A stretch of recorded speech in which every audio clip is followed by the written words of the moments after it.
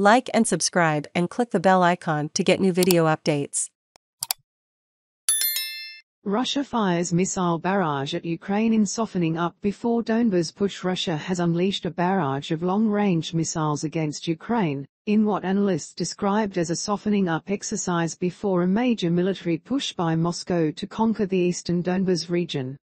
Four Russian rockets smashed into the western city of Lviv on Monday, killing seven people and injuring at least 11. Three hit military infrastructure but the fourth appeared to have missed its target and landed in a car repair workshop. The mayor of Lviv accused the Kremlin of genocide after the attack and said there were no longer any safe or unsafe areas left in Ukraine. Andriy Sadovyi said, what we see today is genocide. It's a deliberate action by the aggressor to kill peaceful civilians.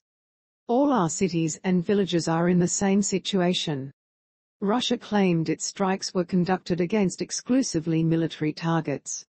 The attack came amid expectations of a large-scale offensive by Moscow over the coming days to try to seize the administrative borders of the Luhansk and Donetsk regions.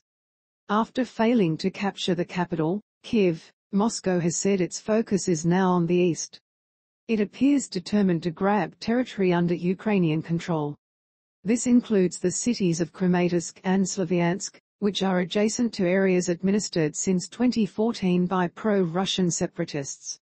There is speculation Vladimir Putin is determined to declare victory in Ukraine in time for the annual the 9th of May parade on Red Square in Moscow. But Russia's numerically superior army will first have to overcome dogged Ukrainian defenders in the east, who are well trained and dug in speaking at a press conference, Sadovyi said one of the enemy rockets struck Lviv garage and tire repair workshop, killing four people. Others were injured including a child, with two adults critically hurt. Nearby windows were blown out including in a school, he said. Maxim Kozytsky, the head of Lviv's regional military administration, said the strikes were part of a cynical and inhuman pattern by the Russian government and its military. They were trying to intimidate Ukraine by going after civilians, the mayor said, adding, look at what's going on in Mariupol. Thousands of innocent people were killed. What we have seen in Bucha and Hostomel is horrible. The Russian opposition politician Ivan Zdent said the bombing in Lviv made no military sense. He said the KALIBR missile fired from thousands of kilometers away cost $6.5 million, $5 million pounds, and had landed on a Thai workshop. What's the logic here? Are they complete morons? He tweeted. Russia has previously bombed more plausible targets in and around Lviv including a tank repair factory and a military base.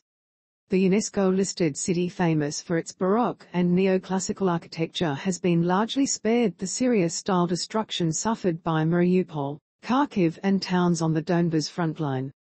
Lviv is a temporary home to several hundred thousand people displaced by fighting in other parts of Ukraine.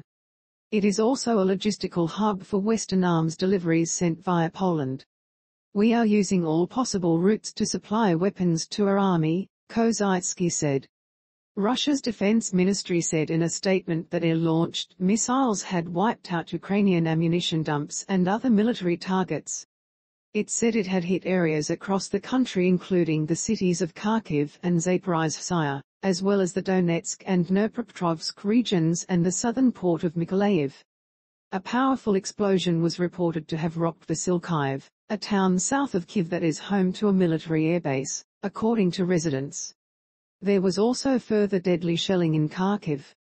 Over the past four days, 18 people have been killed and 106 injured.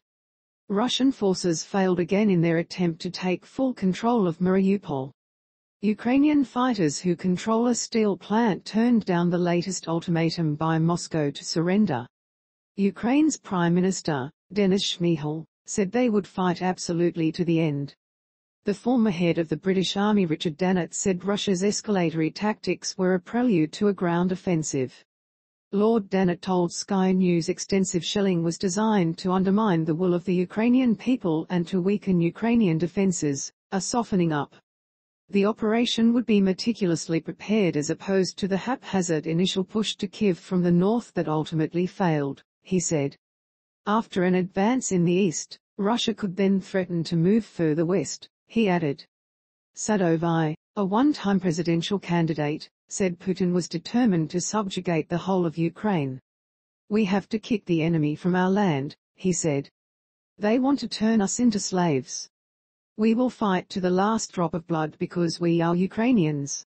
He said the West had to understand that war in Ukraine went beyond the fate of one